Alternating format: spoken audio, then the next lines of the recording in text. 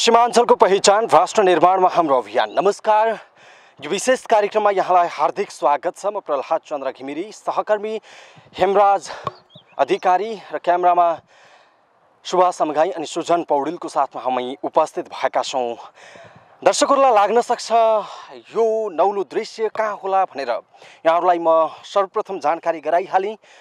दुई हजार बहत्तर वैशाख बाह्र गते गोर्खाको बारपाक केन्द्रबिन्दु बनाएर सात दशमलव छ रेक्टर स्कुलको भूकम्प गएको थियो। र त्यो भूकम्पले देशका विभिन्न स्थानहरूमा ठुलो क्षति पुर्याएको थियो। इपी सेन्टर बारपाक रहेको थियो र त्यो स्थानमा पनि धेरै क्षति पुगेको थियो। यसर्थ आज हामी यहाँहरूलाई लैजाँदैछौँ खास गरी गोर्खाको बारपाकमा र भूकम्प पछाडिको स्थिति। भन्नुहोस् भूकम्प पछाडिको बारपाक कस्तो भएको छ? यहाँहरूलाई पनि जिज्ञासा लाग्न सक्छ। हो हामी बारपाक लैजाँदैछौँ र ती बिचमा आज हामी यो स्थान आइपुगेका छौँ। बारपाक जाने बाटो हो यो र हामी यो स्थान हो गोर्खाको जौबारी। हामीले देख्न सक्छौँ गोर्खा जौबारी नौ गोपाल डाँडा हो र यो स्थान पनि भूकम्पबाट प्रभावित बनेको थियो र यो क्षेत्र तपाईँ देख्न सक्नुहुन्छ। यहाँ पनि भूकम्पले ठुलो क्षति पुर्याएको थियो। यो स्थानहरूमा स्थानीयहरूले हामीलाई त्यो बताइरहनु भएको छ।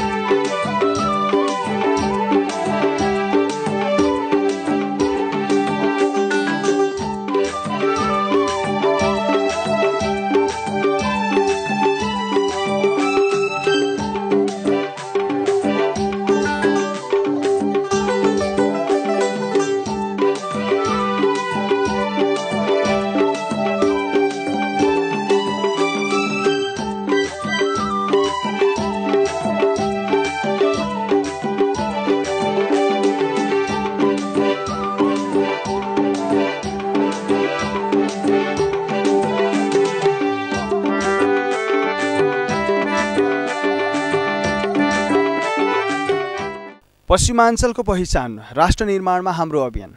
हो यही नाराका साथ उदाएको हो पोखराबाट फेवा टेलिभिजन। र आम दर्शकहरूको सूचनाको सहयात्री हुँदै पल पलमा अगाडि बढिरहँदा यो विशेष कार्यक्रममा हामी तपाईँसँग जोडिरहेका छौँ। दर्शकबिन हामीलाई माया गरिदिनु भएको छ तपाईँको यो माया छ यो साथ छ र त हामी पल पलमा तपाईँसँग मितेरी साइनो गाँच्दै अगाडि बढिरहेका छौँ र बढिरहन्छ फेवा टेलिभिजन पल पलमा क्यामरा पर्सन दोए सुभाष अमगाई र सुजन पौडेलका साथमा टिभी रिपोर्टर प्रहलाद चन्द्र घिमिरे अनि हाम्रो टिम यति बेला गोर्खा जिल्लामा छ। दुई हजार बहत्तर साल वैशाख बाह्र गते गएको महाविपत्ति भूकम्प जसले ठुलो जनधनको क्षति पुर्यायो नेपालमा। उन्नाइस सय नब्बे पछाडिकै सबभन्दा ठुलो मानिएको भूकम्प र जसले ठुलो जनधनको क्षति पुर्याइरहँदाखेरि यत्तिका समय बितिसकेको छ। भूकम्प गएको र भूकम्प पीडित परिवारहरूले के गरिरहेका छन् अहिले? हामी त्यसैको खास विषयवस्तु तपाईँलाई देख्न प्रस्तुत भएका छौँ र पोखराबाट बारपाकसम्मको यात्रा। गोर्खाको उत्तरी भूभाग बार बारपाकलाई केन्द्रबिन्दु बनाएर गएको भूकम्प र यत्तिका समय बितिसके पछाडि खास के रहेछ बारपाकमा र गोर्खाका विभिन्न भूकम्प पीडित परिवारहरू के गरेर बस्नु भएको छ? अर्थात् तात्कालीन समयको भूकम्प प्रभावित क्षेत्रमा अहिले कस्तो छ अवस्था हामी तपाईँलाई देखाउनको लागि प्रस्तुत भएका छौँ र यति बेला हामी ठ्याक्कै आइपुगेका छौँ। साबिकको जौबारी गाविस वार्ड नम्बर नौ फिनामटार जहाँ भूकम्पले निकै ठुलो क्षति पुर्याएको थियो।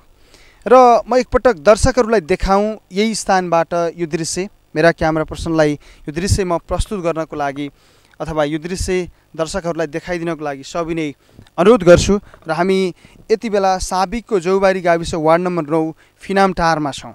र तात्कालीन समय अर्थात् त्यति बेला हामी यही स्थानमा आएका थियौँ नेपाली सेना र भारतीय सेनाको हेलिकप्टर मार्फत राहत सामग्री लिएर आउँदै गर्दाखेरि हामी यही स्थानमा आएका थियौँ र राहत यहाँका जनतालाई छोडेर हामी फर्किएका थियौँ। र यो दृश्य हामीले तपाईँलाई देखाइरहेका छौँ र तपाईँसँग हामी पल पलमा यहाँका दृश्य देखाउँदै अगाडि बढ्नेछौँ र हाम्रो यात्रा बारपाकसम्म रहनेछ। दर्शक महानुभाव हामी यो दृश्य यहाँलाई देखाउँ। त्यो माथिको डाँडा एकपटक हेर्न सक्नुहुनेछ यहाँले दृश्यमा। र तात्कालीन समयमा भूकम्पले पारेको क्षति र त्यो दृश्य हामीले तपाईँलाई देखाउनको लागि फेवा टेलिभिजन टिम यति बेला गोर्खामा छ र गोर्खाको उत्तरी भाग बारपाकलाई केन्द्रबिन्दु बनाएर आएको भूकम्प र अहिलेसम्म यत्तिका समय व्यतीत भइसक्दाखेरि खास त्यहाँ के भएको रहेछ हामी जस्ताको तस्तै देखाउनको लागि यहाँ समक्ष प्रस्तुत भएका छौँ।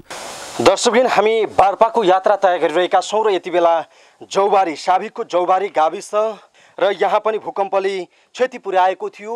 र हामीसँग एकजना स्थानीय हुनुहुन्छ उहाँसँग म कुराकानी गर्छु। दाइ नमस्कार। नमस्कार। यहाँको नाम भनिदिनुहोस् न। मेरो रामलाल श्रेष्ठ।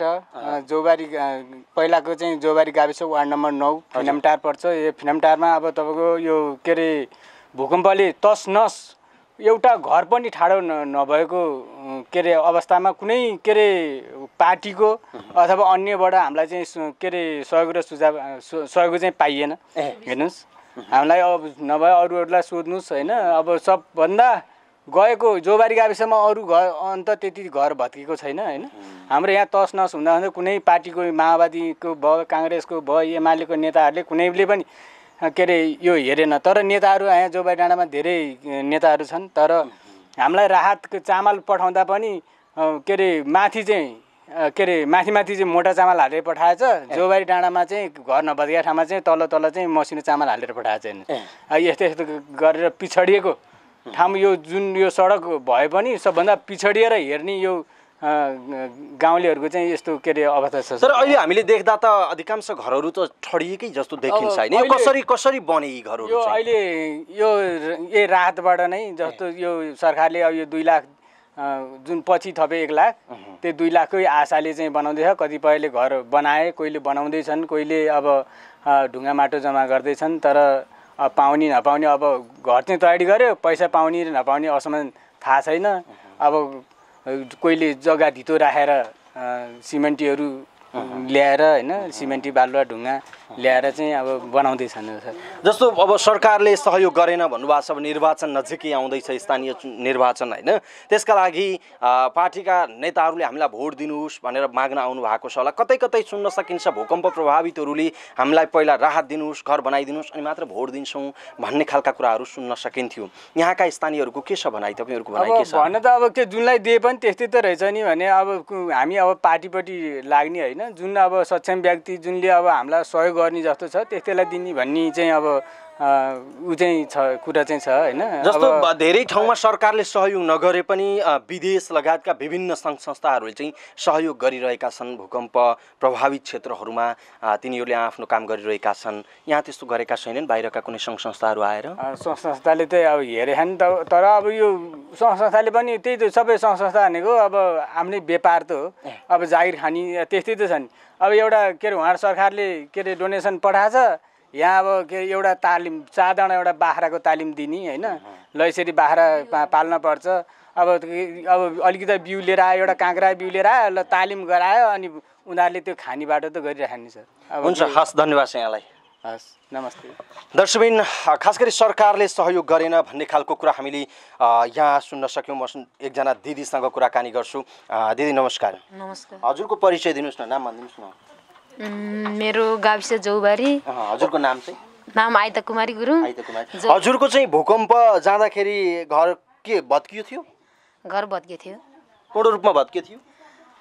आधी पुनै नै भन्नु पऱ्यो अब आधा के अरे ढुङ्गाको गाह्रो थियो आधी काठको थियो अनि चारवटा खम्बा थियो त्यही भएर आड्यो आड्न चाहिँ तर गाह्रो चाहिँ सबै भत्कियो। अहिले बनाउनु भयो बनायो बार्यो जस्ताले बार्यो कसरी बनाउनु भयो कसले सहयोग दियो या आफैले खर्च गरेर बनाउनु भयो सहयोग त पाइनँ केही पनि।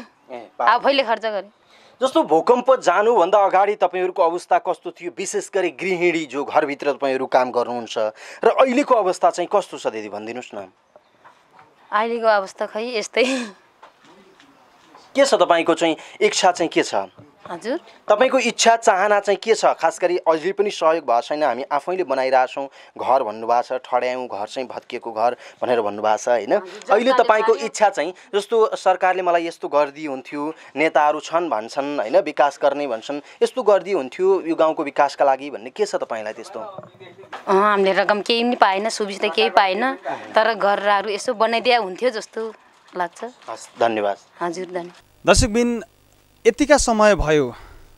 उन्नाइस सय नब्बे पछाडिकै सबभन्दा ठुलो मानिएको दुई हजार बहत्तर साल वैशाख बाह्र गते गएको महाविपत्ति भूकम्प। र यहाँका जनताले खास राहत अनुभूत गर्न पाएका छन् वा छैनन्। के छ जनताको गोर्खाका बासिन्दाको अवस्था? हामी तपाईँलाई प्रस्तुत गर्न उपस्थित भइरहँदाखेरि यति बेला हामी साबिकको जौबारी गाविस वार्ड नम्बर नौमा छौँ र तात्कालीन समयमा आएको भूकम्पले यो ठाउँलाई पनि क्षति पुर्याएको थियो र हामी यहाँका बासिन्दाहरूसँग कुराकानी गर्छौँ। दिदी नमस्कार। नमस्कार। यहाँको नाम भनिदिनुहोस् न। जोबारी अर्णम नौ। हजुरको नाम? मेरो नाम सङ्गीता दिदार त्यति बेला आएको भूकम्पले यो ठाउँलाई पनि नराम्रोसँग क्षति पुर्याएको थियो है? पुर्या थियो। तपाईँको घर तात्कालीन समयमा भूकम्पले असर गर्यो कि गरेन? गऱ्यो अनि अहिले कहाँ छ हजुरको घर? जोबारीमा कहाँ त कुन एरिया? मतलब यो चाहिँ नामटारमा अनि कतिको राहतको अनुभूत गर्न पाउनु भएको छ? खास भूकम्प पीडित परिवारलाई कस्तो छ अहिले? खोइ राहत त केही पाएन हामीले त। पहिला पहिला अलिअलि पाएको थियो त्यहाँपछि छैन। अहिले आफ्नै लगानीमा घर बनाउनु भएको छ वा त सरकारी राहत पाउनुभयो त्यही पचास हजार पायो त्यहाँपछि पाएन। कहिले पाउनु भएको थियो याद छ? कुन साल कति गतेतिर अथवा कुन महिनातिर? त्यति चाहिँ पाउनु भएको थियो। अनि तपाईँको भयो यो कुरा यहाँ अरू गाउँवासीको चाहिँ अवस्था के छ? सबै भत्कियो गर्दा अब अहिले बन्दैछ कोही कोही कोही बन्दैछ कोही बनाउँदैछन्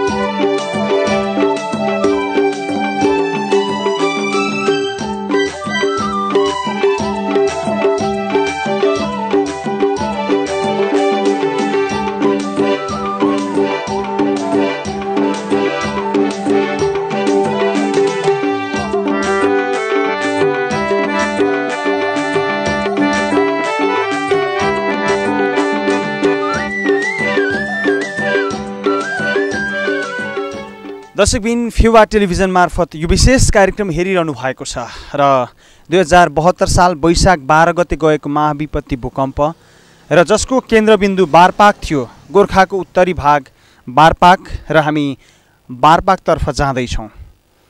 गोर्खाका विभिन्न ठाउँ लगायत देशभरिमा बहत्तर साल वैशाख बाह्र गते आएको महाविपत्ति भूकम्पले ठुलो जनधनको क्षति पुर्याएको थियो।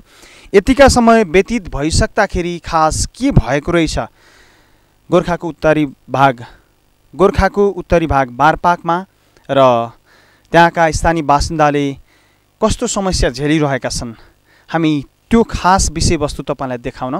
फेवा टेलिभिजन टिम यति बेला बारपाकतर्फ जाँदैछ र हाम्रो यात्रा र हामीले यात्रामा भोगेका ती कठिन परिदृश्य हामीले तपाईँलाई देखाइरहेका छौँ र देखाउँदै अगाडि बढ्छौँ। यति बेला हामी मुचोकमा छौँ। र मुचोकमा आइपुगेका छौँ। यो पनि भूकम्पको बेलामा निकै प्रभावित भएको थियो। फेवा टेलिभिजनका प्रडक्सन प्रमुख सुभाष अमगाई जो हाम्रो यात्रामा सँगै हुनुहुन्छ। सुभाषजी स्वागत छ। धन्यवाद। कस्तो भइरहेछ यात्रा? यात्रा चाहिँ हामीले सोचेभन्दा अलिक फरक भइरहेछ। हामीले चाहिँ एउटा कुनै टाइम मेन्टेन गरेर आइरहेको थियौँ। जति जति आउँदै गयौँ सुसुमा बाटो राम्रो हुँदै थियो। पिच बाटो हुँदै पिच गर्नलाई ग्राभेल गरेको बाटो थियो। पछि हुँदा हुँदा बाटो कच्चीतर्फ मुडिँदै गयो र अहिले हामीले अझ सुन्दैछौँ दुई घन्टा लाग्छ भन्ने छ। तर पनि हामीले हिम्मत हारेका चाहिँ छैनौँ है। यहाँ अहिले थोरै थोरै यो बिचको टाइममा रेस्ट गरेका छौँ अझ पनि हामी दुई घन्टाको बाटो अझ मोटरसाइकल ड्राइभमा जान्छौँ। त्यसपछि सायद बारपाक पुगिन्छ होला। बारपाक देखिएको छैन तर डाँडा मात्रै देखिएको छ यहाँबाट बारपाक हेर्दाखेरि। लाग्छ फोटोमा देखे जस्तै सुन्दर होला। सुने जस्तै अरूले फोटो पठाए जस्तै अरूले फोटो खिचेर पोस्ट गरे जस्तै सुन्दर होला भनी लाएर हामी आएका छौँ। हेरौँ त्यहाँको पुनर्निर्माण कस्तो भइरहेछ र त्यहाँका पैसाको कुरा कस्तो आइरहेछ। तर अझ पनि हामी पुगेका छैनौँ। तर ओके अ, सुभाषजी तपाईँको गृह जिल्ला पनि हो गोर्खा। र तपाईँको गृह जिल्ला गोर्खा आज हामी तपाईँसँगै सहयात्रा गरिरहेका छौँ र हामी बारपाक जाँदैछौँ। यसभन्दा अगाडि तपाईँ बारपाक जानुभएको थियो कि थिएन? मेरो पनि यो फर्स्ट टुर हो बारपाकको लागि। गोर्खा जिल्ला ठुलो छ क्षेत्रफलको हिसाबले र गोर्खा जिल्ला धेरै जस्तो भूभाग पहाडी र हिमाली क्षेत्रमा पर्ने हुँदा मेरो घर र बारपाक ठ्याक्कै अल्ला छेउ र पलासो जस्तो पर्छ। त्यस कारणले गर्दा बारपाकको लागि यात्रा पनि मेरो लागि चाहिँ नयाँ हो। धन्यवाद। धन्यवाद। दर्शकबिन फेवा टेलिभिजन टिम हामी बारपाकतर्फ जाँदैछौँ। फेवा टेलिभिजनका रिपोर्टर चिफ प्रहलाद चन्द्र घिमिरे। हामी सँगै बारपाक जाँदैछौँ। कस्तो भइरहेछ यात्रा? तपाईँलाई कस्तो भइरहेछ? मलाई त यो कठिन कठिनभित्रको आत्मीयता र मिठास अनि बारपाकवासीसँगको भलाकुसारी कति बेला गर्न पुगौँ जस्तो भइरहेछ। मलाई पनि त्यही भइरहेछ तर त्योभन्दा अलिकति कम मलाई भइरहेछ भन्ने मैले महसुस गरिरहेको छु जति मलाई दुःख भइरहेको छ त्योभन्दा बढी दुःख मेरा आत्मीय मित्रहरूलाई भइरहेको छ भन्ने मैले अनुभूति गरिरहेको छु। किनकि म बाइकको पछाडिपट्टि बसिरहेको छु तपाईँहरूले ड्राइभ गरिरहनु भएको छ। बाटो बाटोको परिदृश्य हामीले दर्शकलाई पनि देखाइरहेका छौँ। अझै यहाँबाट यहाँको बासिन्दा दाई दिदी बुवा आमाहरूको भनाइलाई आधार बनाउने हो भने दुई घन्टा लाग्छ। यद्यपि हामी ठिक्क समय मेन्टेन गरेर आएका थियौँ होइन? पक्कै पनि। जस्तो सोचिएको थियो उहाँ हामीले जानकारी लिँदाखेरि चाहिँ खास गरी बाटो राम्रो छ तपाईँहरू सहज तरिकाले पुग्नुहुन्छ भनेर हामीले एउटा खालको टाइमिङ लिएर आएका थियौँ होइन? सुरुमा बाह्र किलोबाट अगाडि बढ्दाखेरि चाहिँ हामीलाई राम्रै लागिरहेको थियो। तर जब जब यता यता आयौँ श्रीनाथकोट जब कटियो त्यस पछाडि बाटोको अवस्था अत्यन्त डरलाग्दो खालको होइन? अब एक ठाउँमा त धन्नै लडियो होइन? लडिएकै पनि हो। तैपनि हामीले के गर्न खोजिरहेका छौँ र हामीले के चाहिरहेका छौँ? हाम्रा दर्शकहरूलाई के देखाउन चाहिरहेका छौँ भन्ने कुरा महत्त्वपूर्ण हुन्छ भन्ने मलाई लाग्छ। बारपाकमा र यो बिचमा यो डेस्टिनेसन जो बारपाक पुग्ने स्थानहरूमा भूकम्पले क्षति पुर्यायो त्यस पछाडि दुई वर्ष बित्दा त्यहाँ कस्तो पहल भइरहेको छ पुनर्निर्माण के भइरहेको छ र सरकारले के गरिरहेको छ त नि? स्थानीयहरू के भन्छन् त नि? त्यो आम दर्शकहरूलाई देखाउनु हाम्रो उद्देश्य हो। सायद जुनसुकै अ, कठिनाइ भोगेर पनि हामी यहाँहरूलाई देखाउँछौँ र त्यो डेस्टिनेसनमा हामी रात परोस् या भोलिपल्ट होस् पर्सिपल्ट होस् होइन बाह्र गते हामी यहाँहरूलाई देखाउने भन्ने अभियानमा छौँ। तेह्र गते चौध गते पन्ध्र गते अहिले मजाक पनि भइरहेको थियो बिस गतेसम्म त पुगिएला भन्ने खालको होइन जहिले भए पनि अवस्था हामी देखाउँछौँ त्यो डेस्टिनेसनमा पुग्ने नै हो। हस् थ्याङ्क यू दर्शकबिन वास्तवमै फेवा टेलिभिजनका उत्पादन प्रमुख सुभाष मगाई र रिपोर्टर प्रमुख प्रहलाद चन्द्र घिमिरेले भने जस्तै हाम्रो टिमले सकस झेल्दै यो मुचोकसम्म आइपुगेका छौँ र हामी दर्शकलाई त्यो खास देखाउन खोजिरहेका छौँ विषयवस्तु कि दुई वर्ष अगाडि भूकम्प जाँदाखेरिको अवस्था र संयोगले यी ठाउँहरूमा विभिन्न ठाउँहरूमा म पनि आउने अवसर पाएको थिएँ तात्कालीन समयमा। र तत्कालीन समयमा हामी यहाँ आउँदै गर्दाखेरि जे देख्यौँ दर्शकलाई त्यो देखाइसकेका थियौँ त्यति बेला पनि र अहिले पनि दर्शकलाई हामी देखाउन आएका छौँ र त्यति बेला यो ठाउँमा म आफै आएको थिएँ र मसँग केही स्थानीय बासिन्दाहरू हुनुहुन्छ उहाँहरूसँग म कुराकानी गर्छु। नमस्कार। नमस्कार। यहाँको परिचय नाम भनिदिनुहोस् न। मेरो सुबहादुर नेपाली। तपाईँको घर कहाँ? मेरो यहाँ अलिकति माथाडापट्टि हो यहाँ भन्दामा यो मुचोकमा छौँ हामी। चोकमा छौँ। तात्कालीन समयमा यो क्षेत्र पनि प्रभावित थियो भूकम्पबाट। सक सखाप थियो पहिला। म तपाईँहरूलाई एकपटक राहत लिएर आएको थिएँ यहाँ। हजुर। र त्यसभन्दा पछाडि फेरि हामी आएका छौँ फेवा टेलिभिजन आएको छ होइन? कस्तो छ अहिलेको अवस्था र सरकारले के गरिरहेको छ? तपाईँहरूले के पाउनुभयो र के पाउने आश छ अझै? त अब पहिला त अब के अरे सरकारबाट त अब पाँच लाखको योजना भनेर छुट्याएको थियो। पछि लास्टमा आएर फेरि तिन लाख भन्यो। तिन लाखबाट पनि फेरि पछि अहिले आएर हामीलाई पचास हजार पाइयो। त्यो पचास हजार पाएपछि डिबिसी गरेर डिबिसी गरिसकेपछि तपाईँहरूलाई दोस्रो दोस्रो किस्त आउँछ भन्ने हल्ला थियो त्यतिखेर। अहिले त अब कोही कसैको त अब घर बनाएर पनि सिद्धिसक्यो। पहिलो किस्त पाएपछि बनाएर घर बनाएर पनि सिद्धिसक्यो। तर दोस्रो किस्त पनि आएन तेस्रो किस्त पनि पाएन। यो के कारणले हो? यो रोकिएको त्यो हामीले केही बुझ्न सकेका छैन। कति चाहिँ पाउनुभयो? हामीले पचास हजार चाहिँ पाइयो पहिलो किस्त अरू पाउनु भएको छैन। पाउनु भएको छैन। पाएकै छैन हामीले। ओके हामी गोर्खावासीको विशेष त गोर्खाको उत्तरी भाग बारपाकलाई केन्द्रबिन्दु बनाएर आएको भूकम्प तात्कालीन समयमा।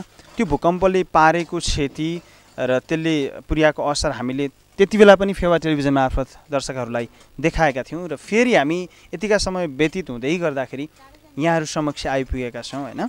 मलाई भनिदिनुहोस् न हामी मुचोकमा छौँ यहाँबाट बारपाक पुग्नलाई अझै कति घन्टा लाग्छ? तपाईँहरूलाई अब बाटो एकदम यतिखेरको बेलामा पानी पानीको समयले गर्दा न बाटो खराब छ। त्योभन्दा पहिला त राम्रो थियो। करिब करिब डेढ घन्टामा पुग्थ्यो भने अहिले चाहिँ तपाईँहरूलाई बाटोले पानीले असर गर्दा गरे अनुसारले चाहिँ तपाईँलाई करिब करिब दुई घन्टै लाग्छ यहाँ दुई घन्टा लाग्छ। दुई घन्टा लाग्छ। किन भन्दा पानी पऱ्यो बाटो हिलो छ खराब छ भने टाइममा पुग्न सकिँदैन। अब के छ तपाईँहरूको भन्नु र तपाईँहरूले जुन कुरा अघि गर्नुभयो पहिलो किस्ता पाइयो त्यसभन्दा पछाडि पाइएको छैन भनेर होइन? अब के छ भन्नु र सरकारलाई के छ तपाईँले माग्नु? के गरिदिएखेरि खुसी हुनुहुन्छ? भूकम्प अ, बाट त्यति बेला जुन खालको पीडा भोग्नुभयो। हजुर। अब पा पाउनु त अब के पायो भने अब सरकार भएमा गएर हामीले गएर कुरो त्यहाँ गएर कुरो गरेको छैन। अब त्यो रात दिँदाखेरि हामीले यहीँ यहीँ गाविस गाविसमा आएर दिनुभयो होइन? अब पाउन त पहिला त्यो पैसा अब सम्पूर्ण तोके जति पैसा पाएदेखि के न के हामीलाई अलिक सुविस्ता हुन्थ्यो कि घर बनाएर बस्न सकिन्थ्यो कि। दर्शकबिन हामीले फेवा टेलिभिजन मार्फत यो विशेष कार्यक्रम देखाइरहेका छौँ र फेवा टेलिभिजन टिम यति बेला गोर्खामा छ र गोर्खाको मुचोकमा आइपुग्दै गर्दाखेरि हामी दर्शकसँग जोडिरहेका छौँ। र यहाँका स्थानीय बासिन्दाहरूको भनाइलाई आधार बनाउने हो भने उहाँहरूले पहिलो किस्ता पाउनु भएको रहेछ। त्यसभन्दा पछाडि पाउनु भएको छैन अरे त छ सरकारले गरिदिइहाल्छ कि? हामी कुराकानी गर्छौँ। दिदी हुनुहुन्छ म उहाँसँग कुराकानी गर्छु। नमस्कार। यहाँको परिचय दिनुहोस् न नाम के हो? मेरो जित कुमारी देवकोटा।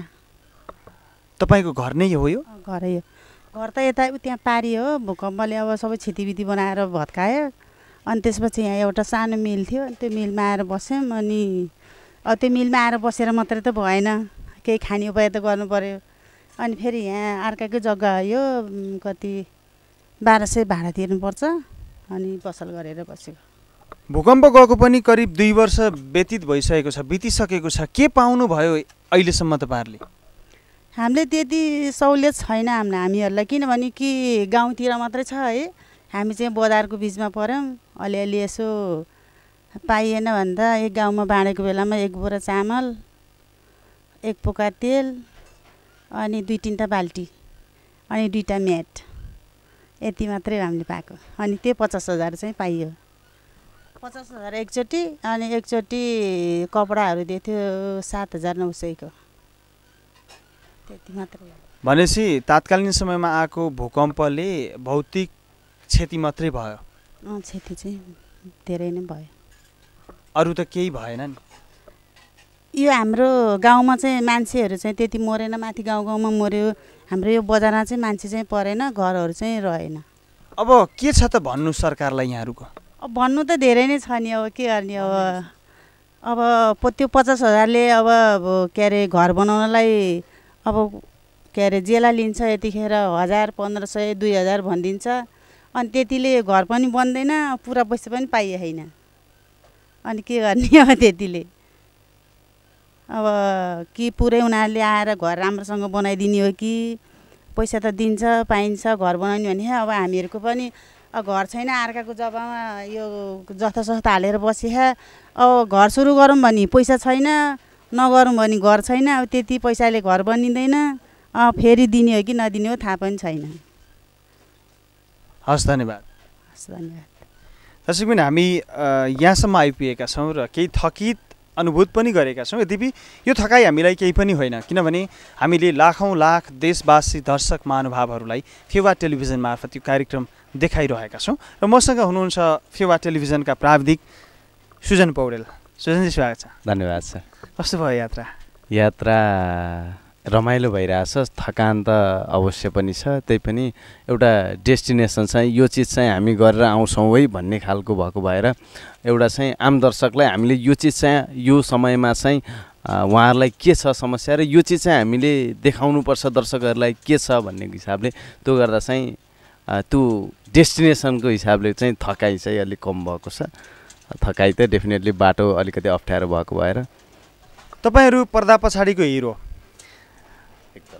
लाखौँ दर्शकहरूलाई हरेक विषयवस्तु देखाइदिनुहुन्छ आफ्नो क्यामेरा मार्फत खिचिदिनुहुन्छ र आफू पर्दा पछाडिको हिरो हुनुहुन्छ।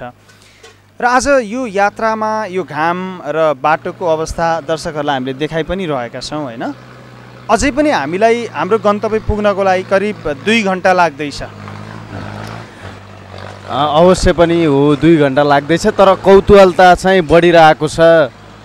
छिटो पुग्न पाए हुन्थ्यो।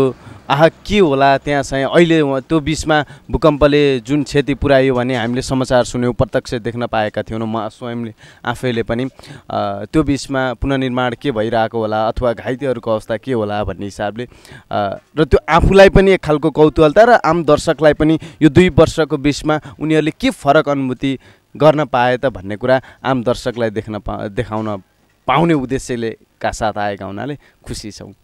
हस् थ्याङ्क यू जसो कि यहाँले स्क्रिनमा देखिरहनु भएको छ र यति बेला हामी मुचोकमा छौँ। तात्कालीन समयमा आएको भूकम्पले यी डाँडाहरूलाई पनि क्षति पुर्याएको छ।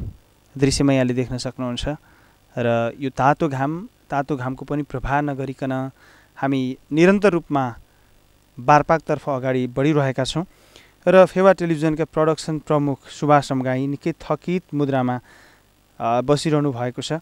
र यहाँहरूलाई हामीले यो दृश्य प्रस्तुत गरिरहेका छौँ फेवा टेलिभिजन मार्फत। हामी हाम्रा दर्शकहरूलाई त्यो दृश्य देखाउनलाई बारपाक जाँदैछौँ कि तात्कालीन समयमा भूकम्पले निकै क्षति पुर्याएको थियो गोर्खा लगायत देशभरि। यतिका समय बितिसके पछाडि अर्थात् दुई वर्ष बितिसक्दाखेरि त्यहाँका बासिन्दाहरूले के पाउनु भएछ र कस्तो छ बारपाक? हामी देखाउँछौँ तपाईँलाई। हामीलाई माया गरिदिनु भएको छ। तपाईँहरूको माया छ र त हामी यो यात्रामा अगाडि बढेका छौँ।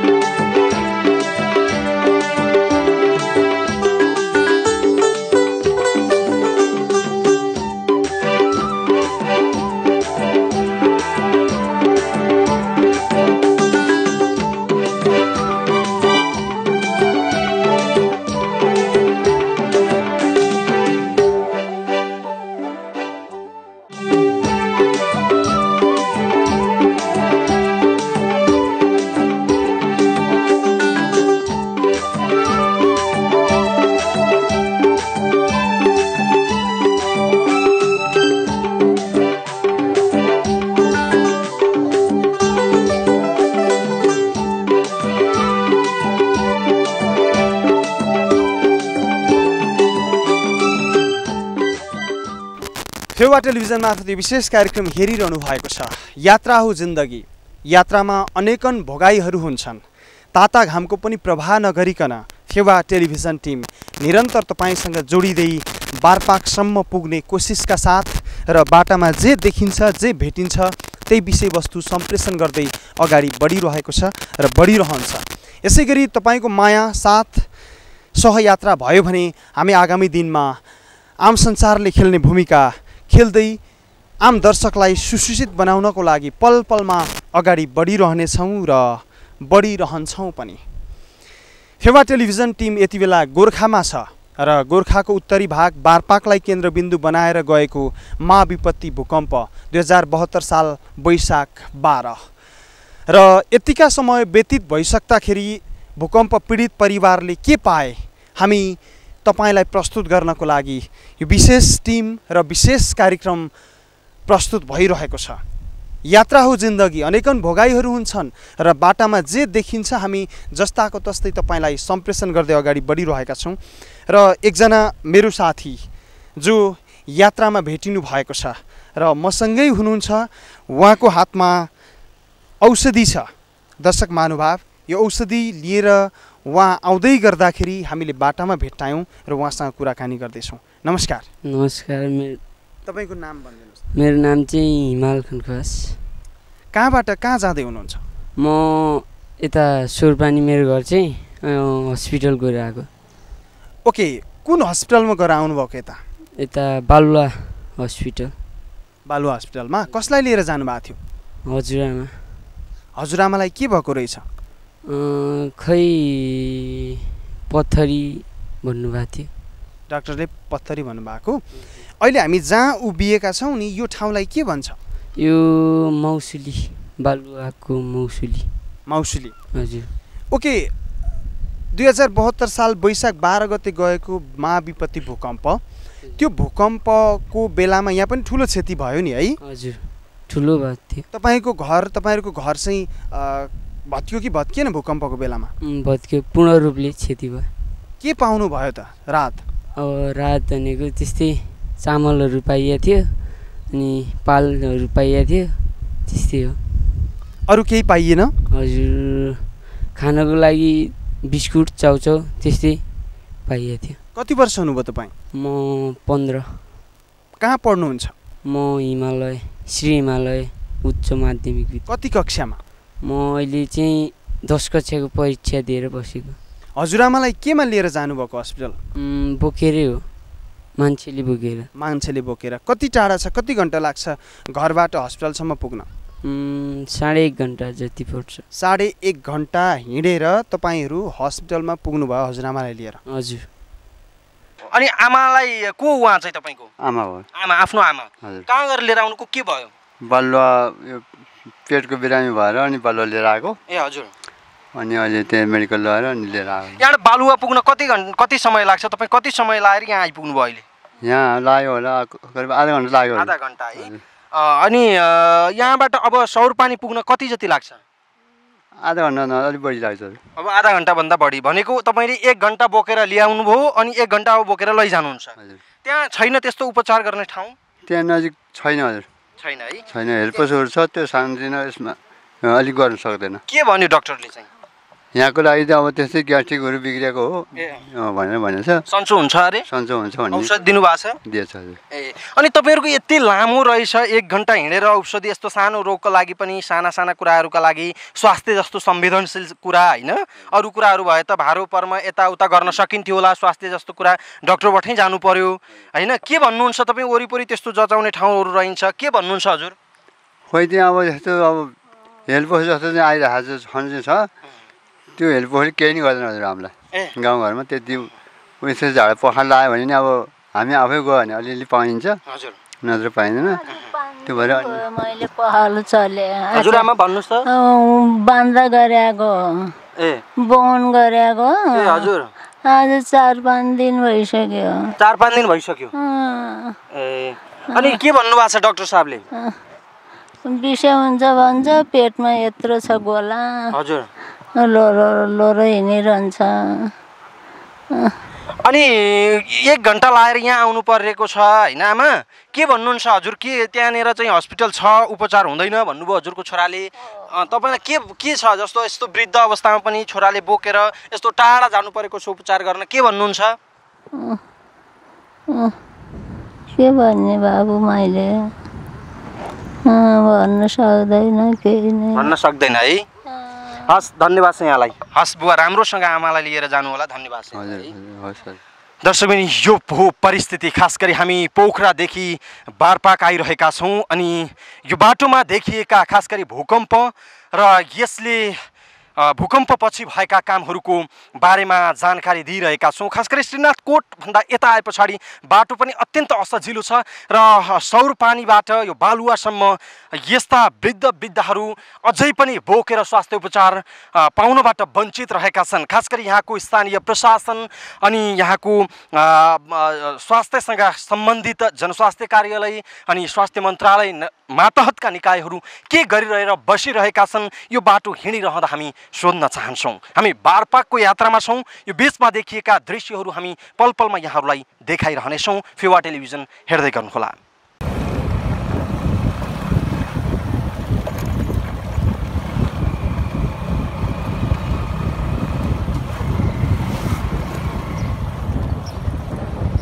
हो त्यहाँ माथि कसरी हो त्यसमा। काम त गर्नु पर्नु ओए प्रहलाद यहाँ नटेक्नु नि फेरि। अनि के नै हुन्न ओ यो एकदम यो त खतरा हुन्छ यार। ल यो त लडिहालिन्छ नि यार घचक्क पर्दा त। जान्छ हो त्यसो होइन यो ठिक छ। युट्युबमा डेन्जर भ्यू आउने। स्टेसन म्यानेजर एकाएक जागिर छोडेर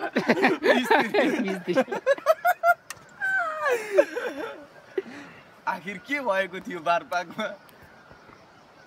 तर यो क्यामेराको एउटा प्रब्लम के सर? यो खिच्दा खिच्दै यतातिर नि पल्टाउनु पर्ने मिल्न पर्ने कि? अब स्टप नगरी मिल्दैन यार। त नि? है? आइफोन त त्यसका लागि यो छ नि त उपाय। जता जता खिच्नु उता उतै यसरी फर्काइदिने नि त्यही यसरी।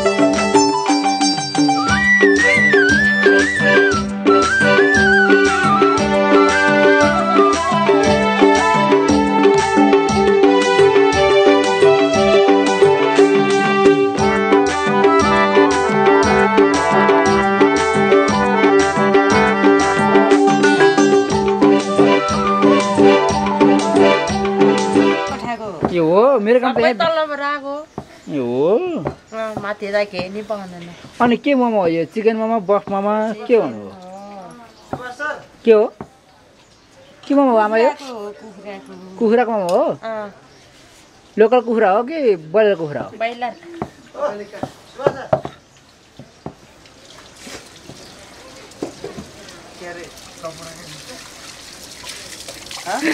स्टेसन म्यानेजरको न।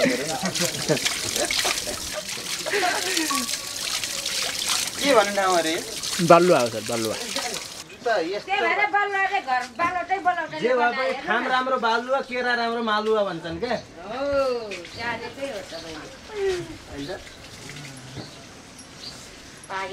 खै मोमो रेडी हुन लागेन मोमो चाखेर जान पाए हुन्थ्यो। कति बेला लाग्छ? ए हो? मोमो किन किन आगो बाल्नु पर्दैन अहिले मोमोलाई? ए ग्यासमा पकाउनु ए ग्यास उँधोबाट कति सस्तो सस्तो ग्यास देखा हो है मोमो होइन खाना छ अनि त्यही यहाँ हाम्रो आमा पापा छ गाउँमा। फेर्नु जानुपर्छ तल पस्यो भने पैसा छैन ए हो र अनि यहाँ चाहिँ पैसा छ अनि तल पस्यो यो- भने यो- यो बाटो के अर्कोको जग्गामा अर्कोको त्यसमा जग्गा किन्नु सक्दैन घरमा पाल तिर्नु सक्दैन त्यसो भएर आफ्नो गाउँतिर पस्याएको अनि यो बाटो चाहिँ यस्तै हो सधैँभरि बाटो यस्तै हो। बनाउँछ रोज आउँछ। गाडी छैन यहाँ? गाडी आउँछ नि पार्पा जान्छ अहिले पानी आएर। अनि। यहाँबाट बारपार पुग्नु कति समय लाग्छ? दुई खण्ड लाग्छ गाडीमा। दुई घन्टा लाग्छ अझै? गाडीमा? अँ। हामीलाई कति लाग्छ त हेरी यसमा? नि ल मिठो खाना खुलाउनुहोस्।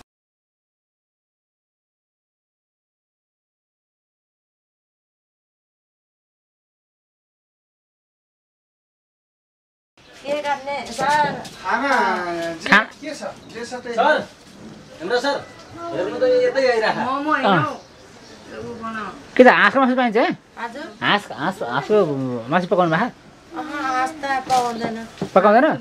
अन्त त के गर्छ? कुन खोला अरे तरकारी खोला हो यो खोलाको माछा छैन माछा पनि मार्नु सक्दैन बेसरी फाल ठुलो आछ।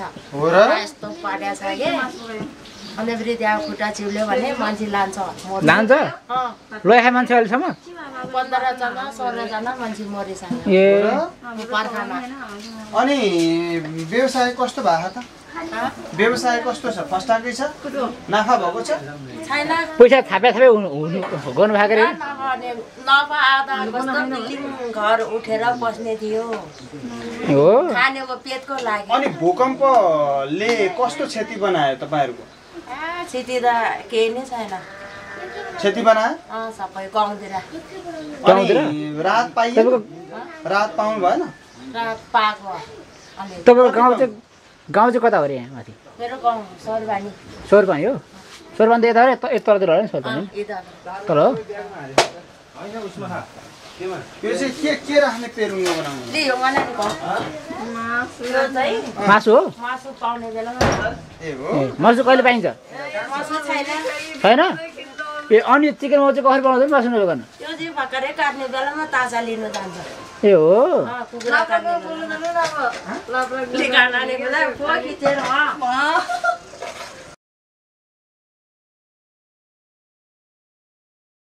नानी हो? कति राम्रो नाम हो त नि नानी?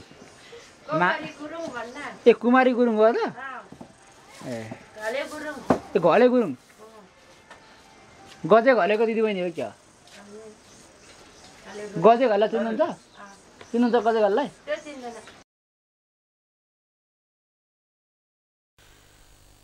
फेवा टेलिभिजनको विशेष प्रस्तुतिको यो खण्डको हामी अन्तिम चरणमा आइसकेका छौँ। यतिन्जेलसम्म हामीलाई हेरेर साथ दिनुभयो। तपाईँ सम्पूर्ण दर्शक महानुभावलाई धेरै धेरै धन्यवाद र यी गतिविधि छायाङ्कनमा साथ दिनुभयो। धेरै धेरै धन्यवाद। क्यामेरा पर्सन द्वय सुभाष अमगाई र सुजन पौडेललाई।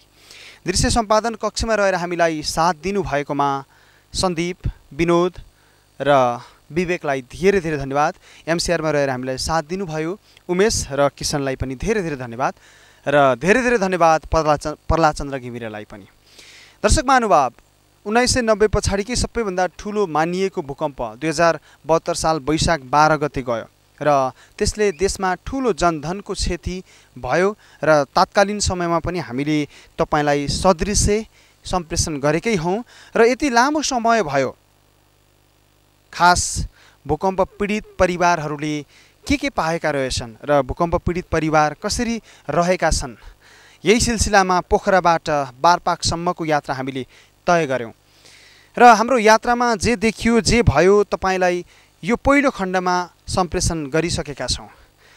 र भूकम्प पीडित परिवारहरूको अझै पनि आश छ सरकारले हामीलाई साथ दिनेछ र सरकारको साथ सँगसँगै फेरि हामी पुनर्निर्माणमा जुट्नेछौँ यही सिलसिलामा हामी पोखराबाट बारपाकसम्मको यात्रा तय गरेका छौँ र पहिलो खण्डको यो कार्यक्रम हामी यो ठाउँमा आएर इन्डिङ गर्दैछौँ कि साबिकको बारपाक गाविस वार्ड नम्बर दुई राङरुङ भन्ने ठाउँमा आएका छौँ र मेरो पछाडि ठ्याक्कै देखिएको यो पहाड। हामी पहाडका छोराछोरी हौँ र पहाडी पहाडले भरिएको सुन्दर देश नेपाल हो र त्यो पहाड पर्छ घाचोक साबिकको घाचोक गाविसमा र हामी यो कार्यक्रममा जोडिरहेका छौँ। सबै सबैलाई धेरै धेरै धन्यवाद। देश समृद्धिको बाटोमा जाओस् सम्पूर्ण नेपालीहरूले शान्तिको सास फेर्न पाओस् यस्ता प्राकृतिक विपत्तिहरू फेरि नआओस् नेपालमा। र दुई वर्ष भइसक्यो भूकम्प पीडित परिवारले अझै पनि पूर्ण रूपमा प्रत्याभूत गर्न सकेका छैनन् कि उहाँहरूलाई पूर्ण रूपमा प्रत्याभूत हुने वातावरण हाम्रो अभिभावक सरकारले पनि गरिदियोस् हामी निरन्तर जोडिरहेका छौँ र हाम्रो बारपाकसम्मको यात्रामा के के भयो हाम्रो टिम बारपाकतर्फ अगाडि बढिरहेको छ। बारपाकतर्फ अगाडि बढिरहँदा जे देख्छौँ त्यही प्रस्तुत गर्दै अगाडि बढिरहन्छौँ। अर्को श्रृङ्खलामा हामी हाम्रा यात्राहरूलाई समेट्दै अगाडि बढ्नेछौँ। तबसम्मको लागि यो श्रृङ्खलाबाट सम्पूर्ण युनिट सँगसँगै म हेमराज आज्ञा चाहन्छु। राष्ट्र निर्माणमा हाम्रो अभियान जारी छ। तपाईँ फेवा टेलिभिजन हेर्दै गर्नुहोस्। नमस्कार।